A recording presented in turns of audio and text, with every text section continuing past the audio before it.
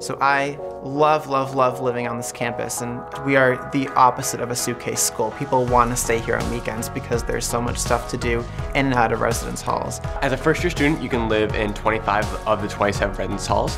You can live in an all freshman hall such as Williamson, Christensen, Alexander, or Lord, or you can live in a mixed building that has upperclassmen living with you. We have four areas of residential halls around our campus, the Timbers, the Valley, the Hills, and apartments. All the academics are in the center of our campus. All the residence halls make up a U around that.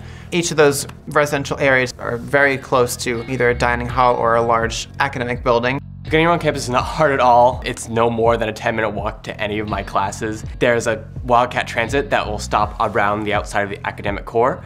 With the UNH app, we can just look up when the buses are coming. It goes to all the surrounding cities, Rochester, Newington, Newmarket, Portsmouth. So housing offers a bunch of different types of rooms. We have singles, doubles, triples, quads, built up triples and suites. We also have apartments. All the dorms have kitchens, so you can always go there and cook your favorite meal with your friends. And then all of the dorms uh, have lounges too. Also, you have cable in your room, you get free Wi-Fi, that's really good. There are laundry facilities, uh, bike storage too.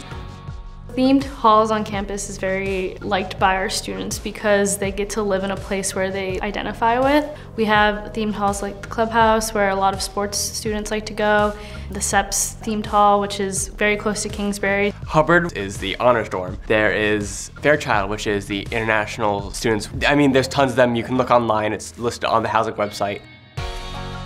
So move-in day is a very exciting day. A lot of people come and volunteer to help out in, a very organized and fun way. Having the blank canvas as a room is a great opportunity to make it what you want. A lot of students like to talk to their roommates ahead of time just to make a plan of how they want to format their room. So the housing website is a great thing to look at before moving in on campus. On this site you can see housing policies, also move-in dates and move-in out dates and spring breaks and winter breaks and stuff like that.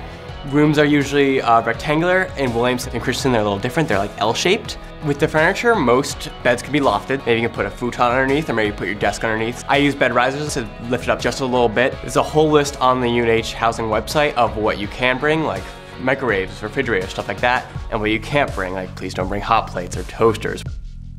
Over the past decade or so, UNH has consistently been ranked among the top safest college towns in the US. Our residence halls are locked 24 hours a day. Um, you always need your access ID to get into it. And also your room has a lock, so a lot of the dorm use the combination locks, so you don't have to carry your key anywhere as long as you remember your codes. We also have the blue light system, which there's one almost at every point on campus if you're ever feeling unsafe.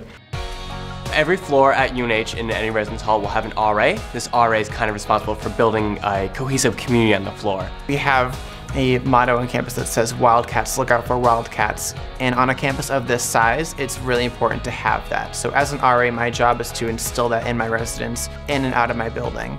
It's sort of our responsibility to make sure that you're safe in every situation, but we are also that person who is always going to be there for you no matter what. Living on campus is definitely an experience as a college student because this is where you meet a lot of your friends. You get to experience different halls throughout your four years here and different types of people. So dorm life is definitely a part of finding yourself as a person in college.